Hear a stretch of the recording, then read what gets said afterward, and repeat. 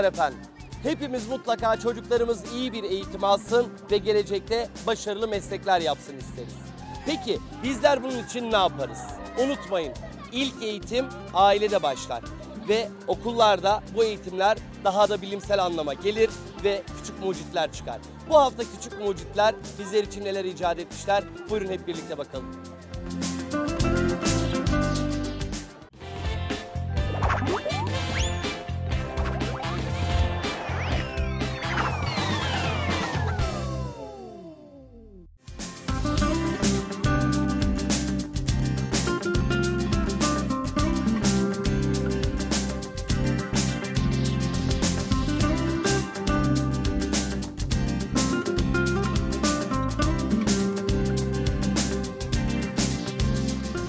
Efendim küçük mucidimiz Nesibe ile birlikteyiz. Önce Nesibe'yi daha sonrasında projesini tanıyacağız. Nasılsın Nesibe?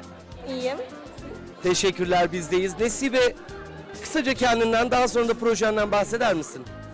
Ee, adım Nesibe Merve, soyadım Arslan. Ee, lise birinci sınıftayım. Çağlayan Kız Fen Lisesi'nde okuyorum. Ee, projemizde eğitimle beden eğitimini birleştirmeyi düşündük. Bilim ve beden eğitimini birleştirmeyi düşündük. Ve bunun için e, etrafımıza baktık. Şöyle ki parklardaki kondisyon aletlerini gördük. Parklarda kondisyon aletlerini biliyorsunuz hepiniz. İnsanlar spor yapmak için burada hareket enerjilerini kullanıyorlar. Bu hareket enerjisinden enerji üretebileceğimizi, elektrik enerjisi üretebileceğimizi zaten herkes biliyor. Bu zaten yapılmış bir şey. Fakat daha sonra şunu düşündüm. Bu elektrik enerjisini depolayıp geceleri e, parkın aydınlatılmasında kullanılabileceğini düşündüm. Ve e, bunun yapılabileceğini de anladığım zaman bunun küçük bir maketini yaptım burada. Bu sadece kondisyon bisikletini içeriyor. E, yani olay şöyle. Hareket e, insanların hareket gücüyle elektrik enerjisi üretiyoruz. Üretiyoruz. Elektrik ener- enerjisini de akülerle depolayıp daha sonra bunun parkların aydınlatılmasına kullanıyoruz. Peki bu projeyi ilk kiminle paylaştın? E, beden eğitimi öğretmeniyle paylaştım. Ailenden kimseyle paylaştın mı? Ya daha sonra paylaştım. Yorumları ne oldular? Ee, babam çok beğendi. Ve yapım aşaması sana yardımcı oldular mı? Daha çok öğretmenim ama tabii onlar da yardımcı oldu. Peki nasıl çalışıyor projen? Ee, göstereyim. Şimdi pedalı insan gücüyle hareket ettirdiğimiz zaman arkada enerji, elektrik enerjisiyle ampuller yanıyor. Bu arada da buradaki 12 voltluk akümüzde de enerji depolanmaya başlıyor. Daha sonra pedalı çevirmeyi bırakıp eğer anahtarı açacak olursak ışıklar yanmaya devam ediyor. Yani e, aküden elde edilen elektrik enerjisiyle ışıklar yanıyor. Biz bunu geceleri aydınlanan sokak lambaları olarak düşünebiliriz. Peki çok teşekkürler. Kolay gelsin. İyi çalışmalar sana.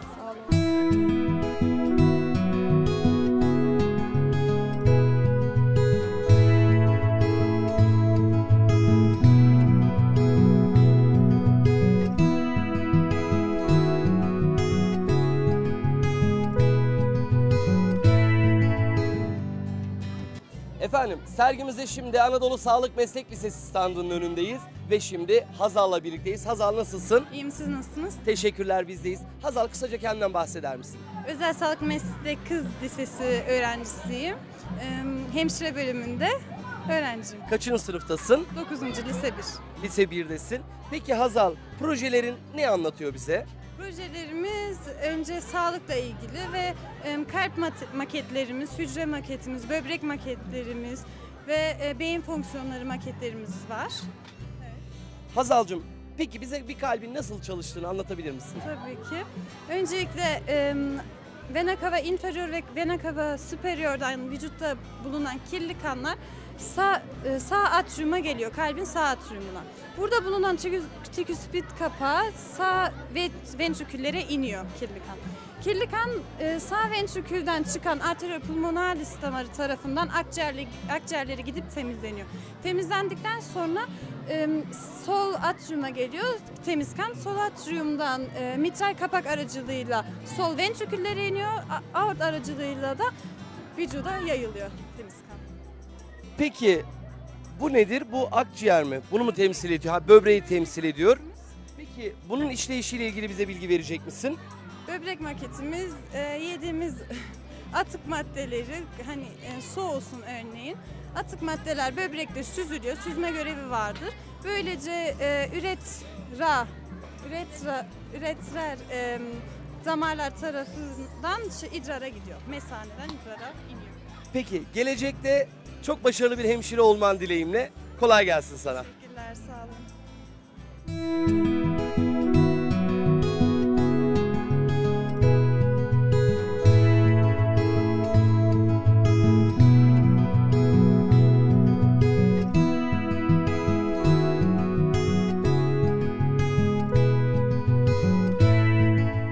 Efendim şimdi Hümeyra ile birlikteyiz ve Hümeyra'nın projesini hep birlikte dinleyelim. Hümeyra nasılsın? İyiyim teşekkürler. Hümeyra projenden bize bahseder misin? Ee, yanma deneyi yapacağız. Aslında oldukça basit bir deney. Ee, isterseniz denklemlerini söyleyeyim size nasıl olduğunu. Daha önce malzemelerini söyleyeyim. 4 yemek kaşığı şeker, e, evde kullandığımız bildiğimiz toz şeker. 4 çay kaşığı potasyum klorat ve birkaç damla da e, sülfürik asit. E, alevin e, büyümesini sağlamak için de birkaç damla, e, birkaç tane toplu iğne. Ee, isterseniz size şimdi denklemlerini söyleyeyim. Sülfürik asit şekerle tepkimeye girerek karbon ve su oluşturur. İlk denklem. Ee, bu egzotermik bir tepkimedir ve açığa çıkan ısı potasyum kloratın pot- potasyum klorür ve oksijen gazı şeklinde bozulmasında etkili olur. Ee, o da ikinci e, denklemde görüyorsunuz. Ardından oluşan oksijen gazı da şeker e, şekerden oluşan karbonla tepkimeye girer. E, yanar ve karbondioksit oluşturur. E, hatta beyaz dumanın sebebi de oluşan e, potasyum klorürün sebep e, klorürden kaynaklıdır. Onu da son e, şeyde görebilirsiniz. Deneye geçebiliriz. Peki hep birlikte bir bakalım bu deney nasıl çalışıyormuş. Hümeyra ne yapacaksın şimdi bunu? E, sülfürik asitli şeker ve e, potasyum kloratın içine dökeceğim. E, içinde de söylediğim gibi e, toplu iğneler var alevin artması için. İsterseniz yapalım. Peki.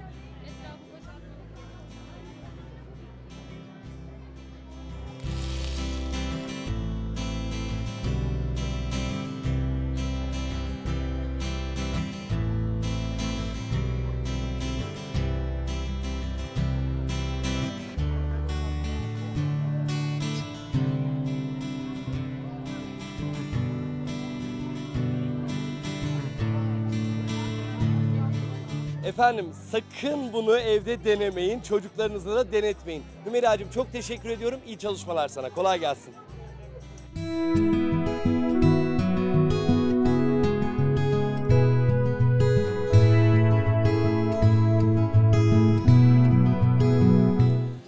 Efendim küçük mucidimiz Ömer'le birlikteyiz. Ömer'cim nasılsın? İyiyim, siz nasılsınız? Teşekkürler bizdeyiz. Kısacık kendinden bahseder misin?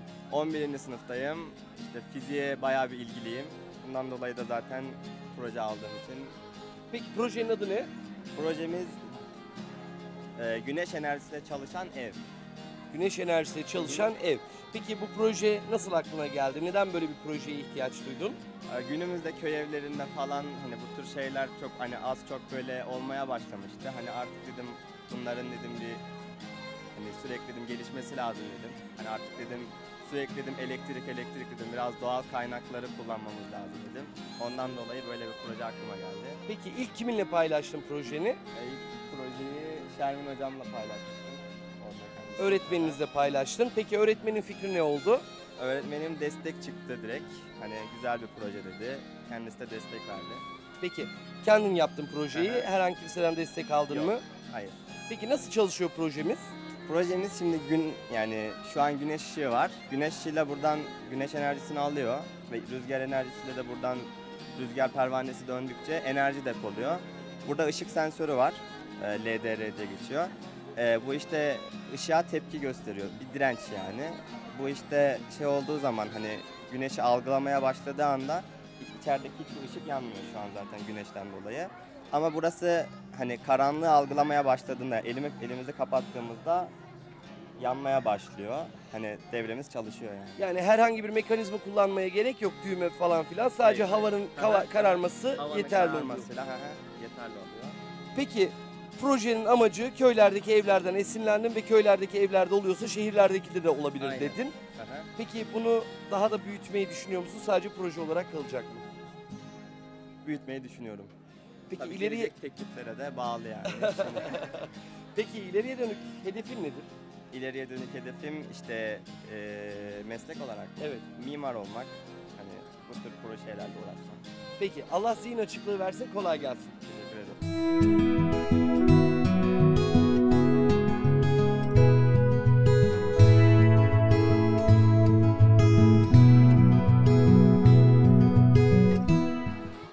Saliha'nın projesini ben dinledim. İnanıyorum ki birçok soruna özellikle trafik sorununa çözüm bulacağına inandığım bir proje. Fakat projenin sahibi Saliha'dan dinleyelim projeyi. Nasılsın Saliha? İyiyim, teşekkür ederim. Siz nasılsınız? Teşekkürler. Projeni bize bir anlatır mısın? Benim projemde biliyorsunuz Türkiye'de e, trafik kazaları çok fazla oluyor. Dolayısıyla e, şu keskin virajlara ben bir çözüm yolu getirmeyi düşündüm.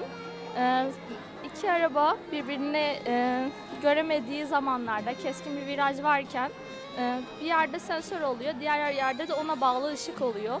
Araba geçtiğinde e, diğer tarafın ışığı yanıyor ve diğer taraftan gelen araba onu göre, e, onu görerek durdu. Karşı taraftan araba geldiğini düşünerek duracak, bekleyecek onu. Bu şekilde hani birazcık daha azanı indirmeyi düşündüm. Projem de bu şekilde. Tabii her şeyin başı dikkat elbette değil mi? Evet, tabii ki. Peki bu projeyi seni götüren sebep ne oldu? Herhangi bir trafik kazası falan mı geçirdin? Yok, e, hayır. Bir öğretmenimin başından geçmişti böyle bir şey. O da böyle bir şey düşünmüş. Ben de onunla beraber e, bu projeyi geliştirmiştim. Yani esin kaynağın hocan oldu aslında. Destekçin de hocan oldu. Peki bu projeyi daha büyütmek var mıdır aklında? Tabii daha da özelleştirilebilir, daha orijinal hale getirebilir, getirilebilir. Yalnız şimdilik daha bu kadar. Peki çok teşekkür ediyorum. Sana başarılar diliyorum. Teşekkür ederim.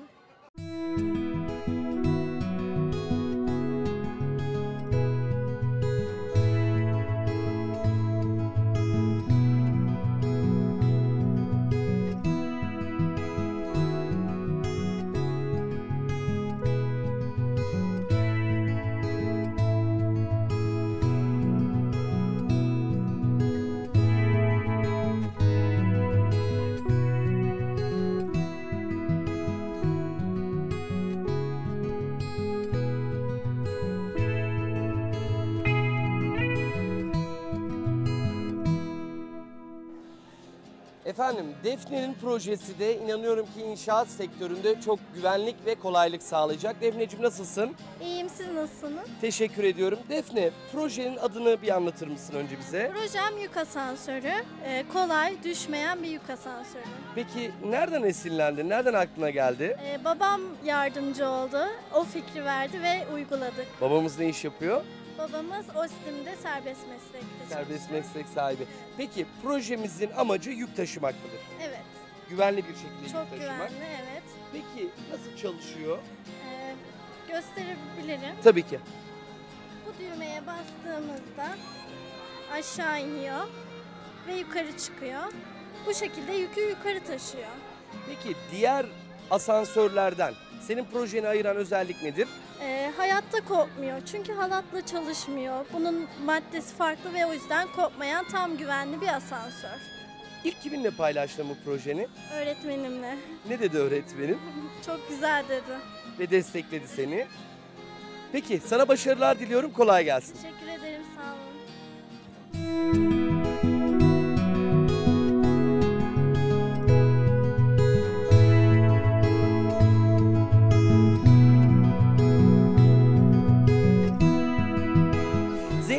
Projenin adı nedir? Projemizin toprak deneyi. Toprak deneyi. Bu deneydeki amaç nedir? Erozyona dikkat hani çekmek istedik. Hani günümüzde çok dikkat edilmeyen bir unsur dedik, düşündük. Bunun için de e, üç farklı hani kap hazırladık. Bunun içinde birine bir toprağa çimen ektik. Diğer bitki köklerini kullanmak istedik. Diğer toprak, e, toprağımızı kirlettik. Hani aynı günümüzde olan topraklar gibi. Diğer toprağı da kendi halinde bıraktık. Üçüne de su döktüğümüzde bitki köklerinin olduğu hani su gayet temiz bir şekilde akarken pis olan toprağımız hani suyu da aynı şekilde kirletti. Ama toprağın kendisi hani hiçbir şekilde suyu tekrar hani kirletmedi sadece kendisini bıraktı suya. Yani bu deneyden anlıyoruz ki yeşile önem verin. Evet, yeşili koruyalım. Peki başarılar diliyorum sana. Kolay gelsin.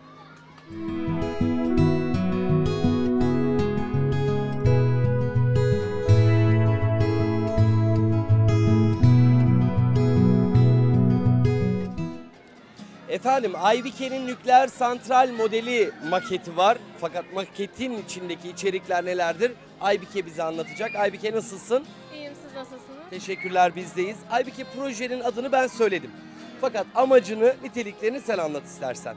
Olur. Ee, Bunu yapmamızın sebebi biz gelişmekte olan bir ülkeyiz ve nükleer santrale bizim ihtiyacımız var. Ee, Dışa olan ekonomik bağımlılığımızı ortadan kaldırmak için biz bu yüzden dikkat çekmek için bunu e, yapmayı düşündük arkadaşlar olarak. Bu şekilde bunu ortaya çıkardık. Peki kaç arkadaş yaptınız bu projeyi? İki kişi yaptık. Biri de sensin. Evet. Peki projenin amacı nedir? Yani neye hizmet edecek bu proje? Ee, Bu insanlar hani biz biraz bilinç- bilinçlendirmek için yaptık. Çünkü e, elektrik bölümünde hep biz dışarıdan e, aldığımız için hep e, nasıl desem dışa bağımlı kalıyoruz ve bunu ortadan kaldırmak için ülkemiz daha da gelişsin diye bu yola başvurarak bunu yapmayı düşündük. Peki çok teşekkür ediyorum. Başarılar diliyorum sana. Teşekkürler sağ olun.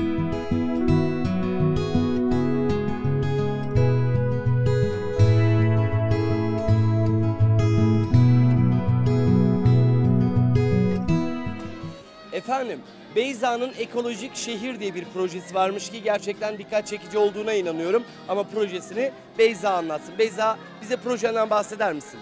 Ee, bu e, ekolojik bir kenti tasarladım burada. Ee, tamamen geri dönüşüm üzerinden yani yapılmış, e, doğal, ondan sonra e, biyokütlesi olan yani geri dönüşüm e, şeyi olan, e, güneş, güneş enerjisi, rüzgar enerjisi, e, su enerjisi yani e, olan e, bir şehir. Tamamen doğal, e, atmosferdeki azot miktarının düşülme, düşülmesini sağlıyor. E, dış e, dış dışa bağlı, e, bağlılığı azaltıyor bu şehir. Yani diyorsun ki ben projemle doğanın elindeki değerleri insanın hizmetine sunuyorum. Aynen öyle, aynen öyle. Peki sana başarılar diliyorum Beyza. Teşekkür ederim. Teşekkür ederim.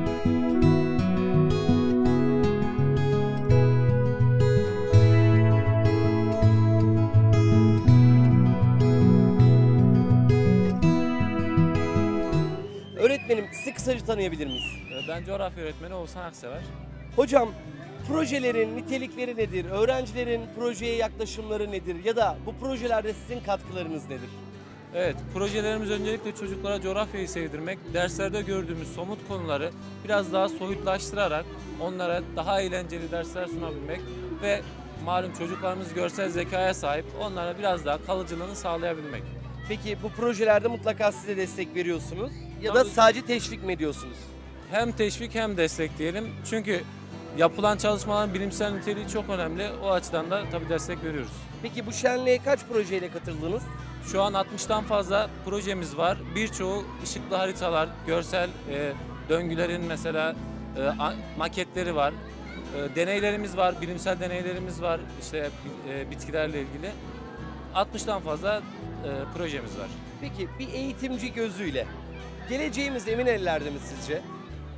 E, inşallah diyelim, umutlu olalım, umut var olalım. E, inşallah diyelim. Yani mucitlerimiz çıkacak inşallah. İnşallah. Peki kolay gelsin başarılar hocam size. Teşekkür ediyorum. Ben teşekkür ederim.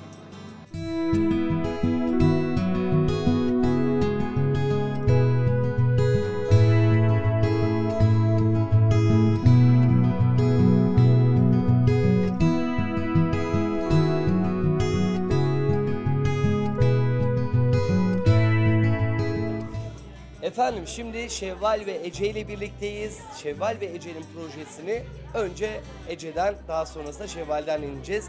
Ece projenin adı nedir? Projenin adı Suya Az Kullan Enerjini Kendi Üret. Çok kısaymış ismi. Evet. Peki bu projenin mimarı sensin sanırım. evet. Nereden aklına geldi böyle bir proje? Ee, hocamız konunun enerji olduğunu söyleyince benim aklıma ilk önce su enerjisi geldi. Ve ortaya böyle bir fikir attım. Peki bu fikri ilk kimle paylaştın? İlk olarak Şevval'le paylaştım. Şevval'le paylaştın. Şevval de uygulamada sana yardımcı oldu öyle mi? Evet. Peki Şevval'cim uygulama aşamasında neler yaptınız? Uygulama aşamasında önce hani Ece'nin babası bize yardım etti. Önce işte tahtaları birleştirdi. Ondan sonra getirdik işte Arif hocamız, Fen hocamızla birlikte su şişelerini birleştirdik, işte yapıştırdık. Ondan sonra pipetleri geçirdik. İşte muslukları falan taktık. Öyle işte öyle bir geçiş yaptık. Uygulamayı da bu şekilde yaptınız. Peki bu proje Ece ne sağlayacak bize? Bu proje Artık banyolara girdiğimizde elektriği yakmamız gerekmiyor. Sadece musluğu açtığımızda veya banyoya girdiğimizde suyu açmamız yeterli. Suyu açtığımızda direkt elektrik kendinden yanıyor. Nasıl olacak bu? Nasıl başarılıyor? Bu kablolarla sağlanıyor. Suyu açtığımızda direkt olarak tasarruftan bir boruyla bu lambalara geliyor ve elektrik açılıyor. Peki başarılar diliyorum arkadaşlar size. Kolay gelsin. Efendim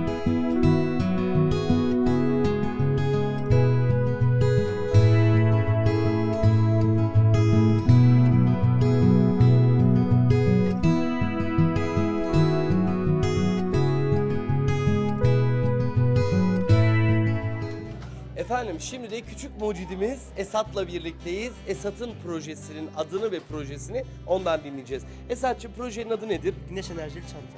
Peki bu nasıl çalışır? Ee, Buradaki güneş paneli sayesinde güneş ışınlarını alarak bu kablolar sayesinde elektrik enerjisine dönüştürüyor. Ondan sonra batarya aktarıyor. Batarya sayesinde tableti veya telefonları şarj edebiliyoruz. Yani sırt çantasına monte ettiğin güneş panelleri elektriğe dönüşüyor ve yolda giderken bile telefonumuzu, tabletimizi şarj edebiliyoruz. Evet doğru. Peki nereden geldi aklına böyle bir proje? Ee, e, aslında düşünüyorduk böyle bir şey. Mantıklı olur diye. Aklıma geldi yaptım yani. Tek başına yaptın, Ve babamdan yardım aldım. babanla birlikte yaptın. Peki başarılar diliyorum sana, kolay gelsin.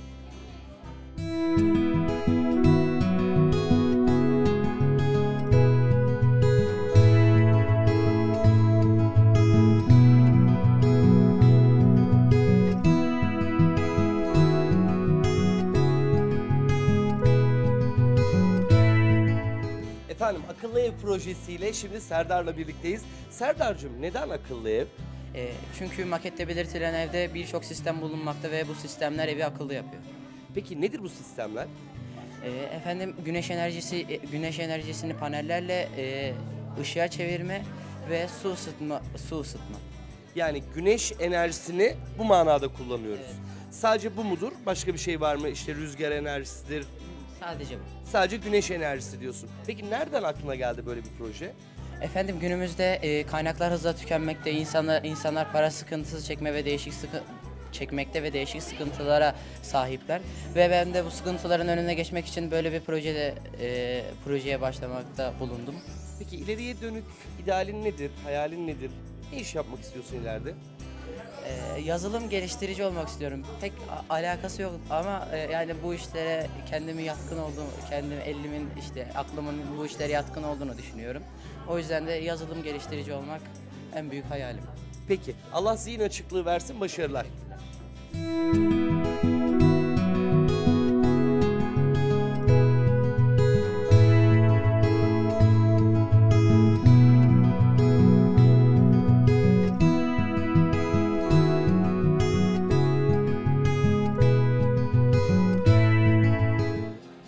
Efendim küçük mucidimiz İrşad'ın projesi benim epey dikkatimi çekti. Çünkü günümüzde bence çok çok lazım olan bir şey özellikle kış aylarında. İrşad'cığım nasılsın?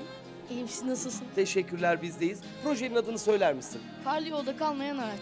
Karlı yolda kalmayan araç. Niye hizmet ediyor proje? Adı üstünde ama ben yine de sormak istiyorum. Ee, biliyorsunuz şu an günümüzde de çok sıkıntı, dünyada da bu çok sıkıntılı. Zincirimiz ve kış lastiğimiz olmazsa kar yağan günlerde yolda kalıyoruz. Ee, biz artık ne zincire ne de kış lastiğine gerek var diyoruz. Lastik, e, arabanız önden çekildiyse ön tarafına, arkadan çekildiyse arka tarafına dinamo yerleştiriyoruz. Dinamo patinaj çekerken dinamo hareket enerjisini elektrik enerjisine, elektrik enerjisini ise ısı enerjisine dönüştürüyor ve lastiklerimiz kısa zamanda eriyip yolumuza devam e, lastiklerimiz kısa zamanda ısınıp yolumuza devam ediyoruz. Peki seni bu projeye sevk eden düşünce nedir? Başına kötü bir olay mı geldi karda? Ee, yok, e, daha doğrusu şöyle diyeyim, biliyorsunuz kışın böyle haberler çok oluyor televizyonlarda. Ee, hem öyle yani öyle bir fikir aklımızda vardı. Peki ilk kimle paylaştın bu fikrini? Ee, öğretmenimle paylaştım. Böyle Baba ne iş yapıyor? doktor kendisi. Ha, babanız doktor. Hani acaba bir san- sanayici bağlantı var mı diye düşündüm ama peki sana başarılar diliyorum. Allah kolaylıklar versin. Teşekkür ederim.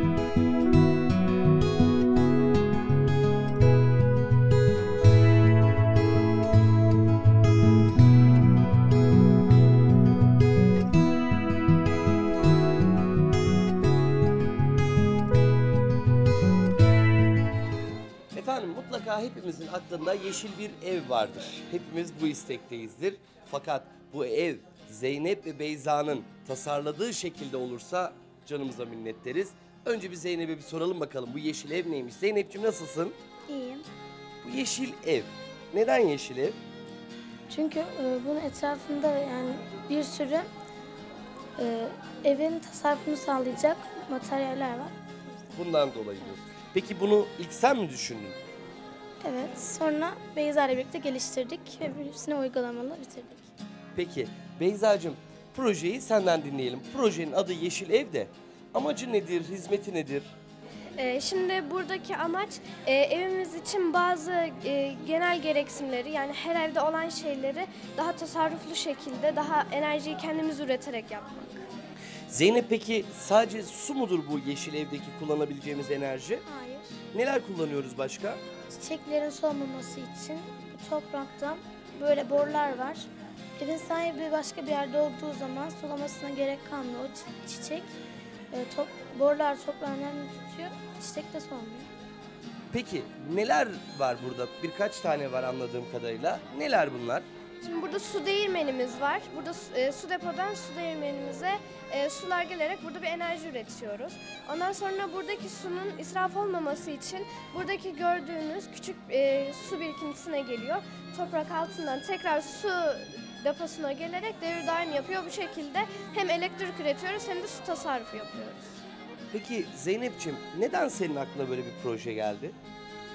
Şimdi öğretmen proje yapacağız deyince biz birbirimize baktık. Yani öyle bir karar verdik. İyi olur diye düşündük. Peki hiç bahçeli bir evde oturdun mu? Evet. Onun için mi bu ona bir özlem midir? Evet. Peki başarılarınız daim olsun inşallah. Kolay gelsin size.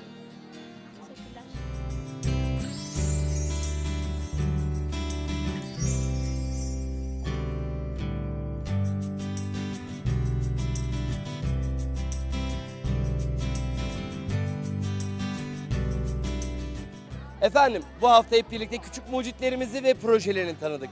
Ve anladık ki geleceğimiz emin ellerde. Haftaya bir başka küçük mucitlerle görüşünceye kadar. Allah'a ısmarladık.